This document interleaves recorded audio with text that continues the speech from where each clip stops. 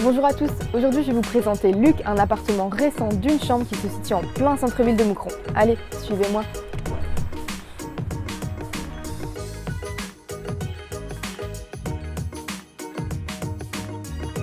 Plus selon Brick, c'est un emplacement idéal dans le centre-ville de Moucron. En plus, on est sur une construction récente, ce qui veut dire que son PEG est excellent. On est ici sur un appartement au rez-de-chaussée avec un extérieur. On a également au sous-sol une place de parking privative et en plus cet appartement est super cosy.